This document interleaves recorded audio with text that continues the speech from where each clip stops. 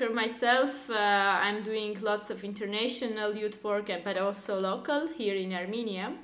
Uh, and uh, yeah, I, I have to say that uh, actually youth work sector, as many other sectors as well, suffered a lot uh, from this pandemic and COVID-19 uh, situation. Uh, so of course uh, I won't be so original not mentioning this uh, uh, fact in my in my words. So, but basically I see that youth work sector and many youth organizations reacted really promptly to the changing situation brought by COVID-19 Uh, pandemic. And um, mm, from my perspective, uh, youth clubs and organizations showed that they are much more resilient and creative than it was thought before even. Um, but on the other hand, I see as a challenge and as the issue for, for all uh, youth organizations and youth clubs uh, specifically, uh, that uh, this situation doesn't always bring uh, that visibility to youth clubs and organizations uh, that we wanted more preciously to be more visible and more recognized uh, of being innovative and flexible in our uh, work that we are doing. So this also doesn't translate, you know, into getting better recognition and funding.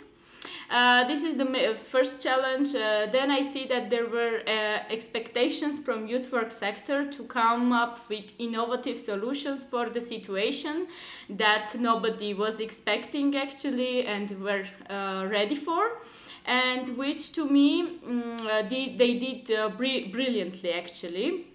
However, people are not also ready to give proper reward and recognition for this. Uh, sometimes we had these challenges uh, uh, also coming from the uh, side of our donors and funders uh, who almost uh, stayed not flexible in supporting these creative approaches and solutions of youth organizations on the European level.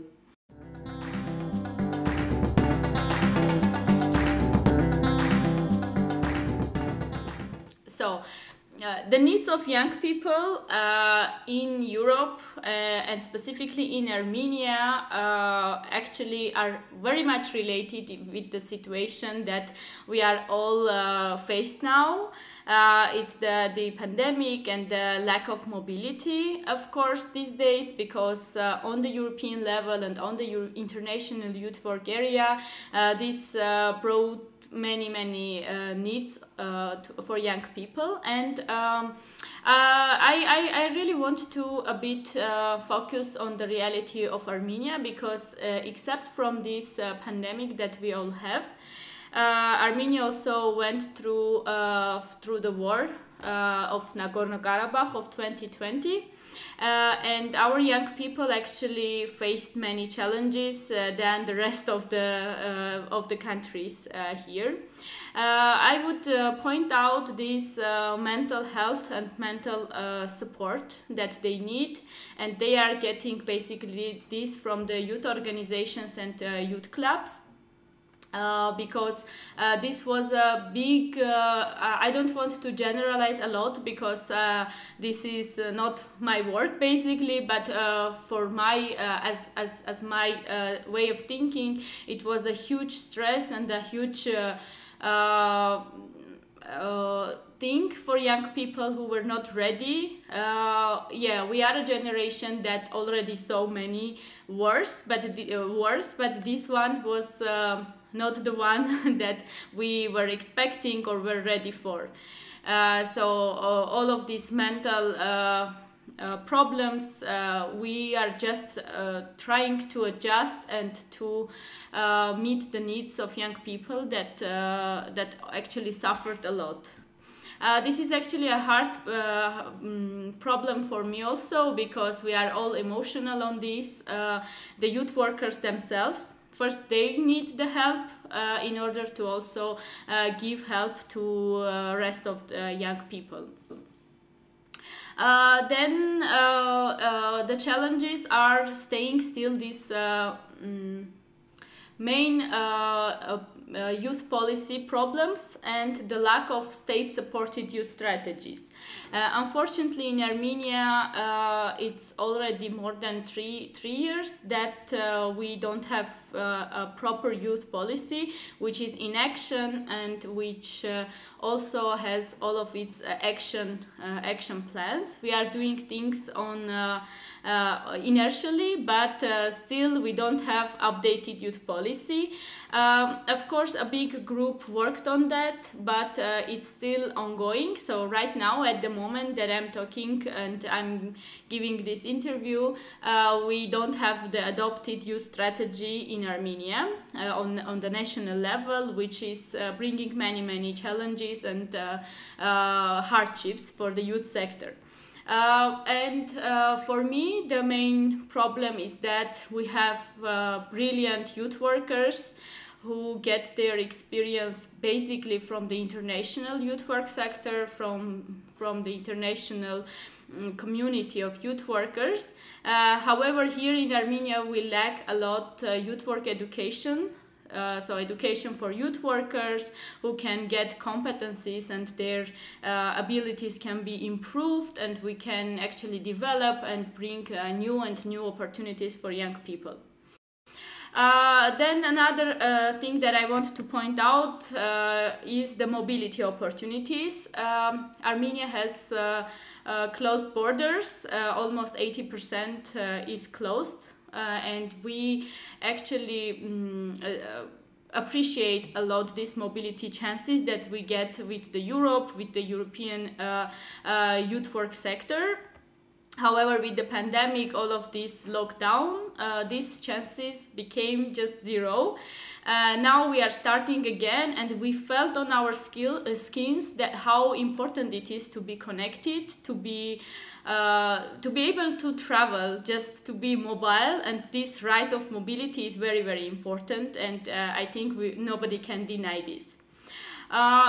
Young people need also uh, career orientation opportunities. They are mentioning this a lot. Uh, that still in the labor market they cannot fulfill themselves. They are uh, choosing professions that I that are not needed anymore in the in the labor market, or uh, they cannot uh, fulfill their uh, aspirations afterwards after getting this profession. So, uh, from the youth work sector, they really need these uh, orientation opportunities. And uh, I would say, last but not least, is the is still the youth information. Uh, yes, we are living in the age of information, technologies, I- ICT, but unfortunately, uh, many young people are still mentioning uh, that yes, this is our need. We are lacking information, uh, youth-friendly information specifically, the information that can be accessible, that can reach out to us easily. We can like we can know how to use this information, and we can know that yes, this information is about us. Us. Uh, and youth organizations are trying to handle all of these issues uh, and to create opportunities. But um, unfortunately, with the state uh, support, with the lack of state support on the youth work field, uh, Armenian youth work uh, is doing its steps very slowly.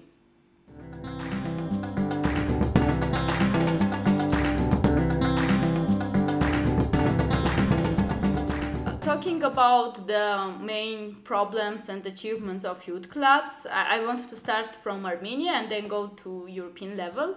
Um, I, I, still uh, think that the youth spaces are the main problems uh, for youth clubs in Armenia because uh, uh, we don't have physical spaces first of all. Uh, on municipal level uh, we have I, I think just one youth, youth center which is uh, supported by the uh, by the community funding um, which is not sufficient uh, for the Armenian reality.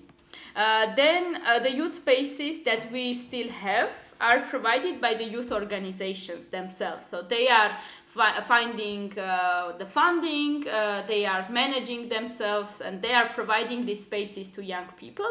But it's not uh, community level spaces. Uh, uh, so, for example, if someone from the rural area in Armenia wants to self-organize, they have uh, maybe already they have their youth club and they want to meet.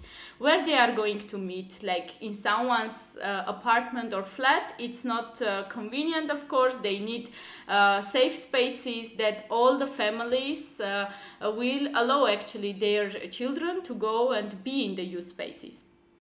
Uh, then on the European level, uh, of course, this pandemic brought hard situation and challenges because uh, young people cannot see each other. It was a lockdown, and uh, as a as a board member of ECYC, we also had these uh, uh, meetings with our member organizations and trying to find out uh, how youth work can still uh, be as sufficient and as as be as sufficient as it used to be. Uh, of course, the funding was the main challenge, but on the other hand, I would say uh, uh, youth work was so innovative that uh, they easily transferred into online youth work. Uh, our member organizations of uh, ECYC, uh, they already had, but I'm super happy that during this pandemic they also developed the, their online youth clubs a lot. So they enhanced uh, and I would say many young people were attending this with uh, much uh, fun and they were very happy for this. Uh, and uh, we have this huge step after this lockdown because digital youth work was not about only online youth work. It was also about offline youth work. But right now we did a huge step in the online digital youth work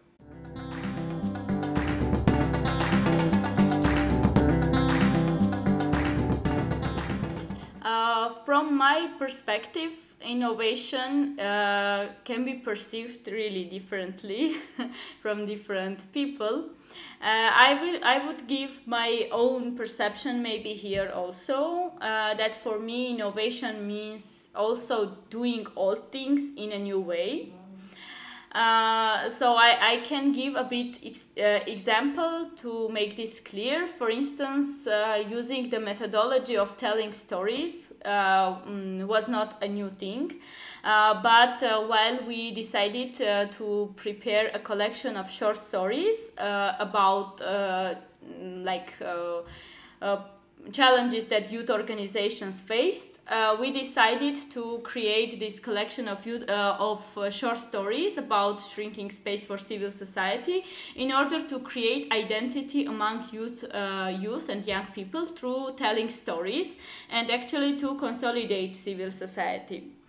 Uh, and I think this can be uh, at least considered as a glimpse, as an attempt of, uh, of innovation in youth work on the European level. Uh, so another example maybe is uh, the starting uh, using practices and ways of approaches that are already used in other fields uh, because you one cannot deny that youth work is also a bit interdisciplinary. Um, but for example, uh, uh, we I can bring an example of plogging. Uh, it is a combination of uh, jogging with uh, picking up litter. So it started uh, to be used in Sweden around uh, 2016 uh, and spread to other countries also, but following increased concern about plastic pollution. And recently I saw that many organizations, youth organizations, decided to use this for mobilizing youth and developing and creating uh, large-scale youth events, which is actually very innovative and it has this innovative element of bringing environmental uh, method or approach into youth work. And those examples, I would say, are not so uh, few. If one wants to see innovation you still can find it even though it could it couldn't be for example a new bicycle or a new invention but uh, still it can be uh, quite sparkling and for young people it can be really innovative. So for me uh, innovation should be seen in a in a local context in a context of uh, that country or region or local community but also in the field and environment that it is developed and it is being used uh, while, while looking to the history of humankind, uh, we can see that innovation and being creative was uh, there during all of the time, mostly. And uh, I think the same is uh, for, for the youth work sector and for, uh, I would say, mainly for the social sector um, especially in the non-governmental and non-profit organizations. So uh, I think that no, unfortunately, many uh, organizations do not really understand that what they are doing is really innovative and it can be also delivered in that way that uh, this can be considered as an innovation. Um, however, I think that the, the, practices itself are quite innovative and uh, they really need some more uh, awareness raising about their practices. Uh, here, I think that uh, yes, youth workers and maybe the practitioners of the field have to start talking about this more often uh, and to bring recognition actually to this field. Uh, and for this, I, I guess exist uh, we, and we can also help uh, to say that after the pandemic, what we did and what we are right now doing uh, is uh, the attempt of uh, being innovative and finding new solutions. Uh, I, I will bring one example. So before the pandemic, we were using some telecommunication methods and all of these Zoom calls, online meetings, etc. But it wasn't wide, widely used, but still it was there. And nobody was thinking that uh, using hybrid model of meetings uh, can be quite effective. But right now we are doing this, like almost all of us are doing this. For us right now, it's it's not so much innovative because we are all in in this together. Uh, but think about this uh, after several years or maybe I don't know 10 years uh, mm, after this we will uh, have a look uh, and say yes this was uh, quite an innovative uh, step while uh, achieving to our aspirations and our goals. So we were flexible, we used different methods, we tried to find creative sol solutions to bring and to adjust all of this communication and tools to our needs.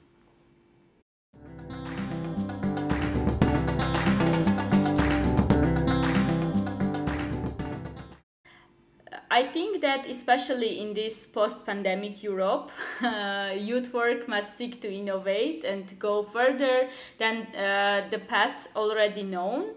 Uh, of course, we are all in this together in the same shoes, uh, uh, but uh, European Academy on Youth Work is actually dealing with these current trends and bringing together the practitioners who are thinking about innovation and uh, who are striving towards this maintenance of the good structures and practices that already exist. I think this is uh, much important because uh, on the European level we have this uh, third European Youth Work Convention and the European Youth Work Agenda, uh, which says that uh, the the uh, new practices and structures have to be always be under our attention. so for me, European Academy on Youth Work clearly um, points out this need which is very important and which we are already doing. We, uh, we started doing this even before the, the, the convention, the Third European Youth Work Convention. And uh, I'm very happy that, uh, yes, we still uh, have uh, things to do in this field because, as I mentioned, the recognition and awareness raising on innovative approaches, methods, whether they are completely new or something uh, really old, but is used, uh, but uh, but are used in a new way. Uh, we have to point out and uh, put our attention on that.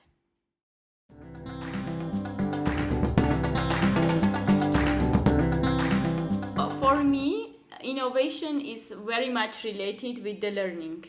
Uh, because uh, we are all learning. Uh, both the youth workers, young people, practitioners, policymakers, or researchers. Uh, so, uh, learning and innovation go hand in hand. And I think that uh, nobody should be arrogant to say that what you did yesterday will be sufficient for tomorrow. we have to be really uh, critical about uh, the ways and approaches that we already had and to try to uh, enhance them all the time. Uh, even though some are very successful, some are really useful, and we are doing that, it's uh, it's bringing uh, a huge benefit to our communities and our society. but I know that youth work and uh, youth organizations, youth workers have this huge potential because we are all in this learning uh, space uh, together.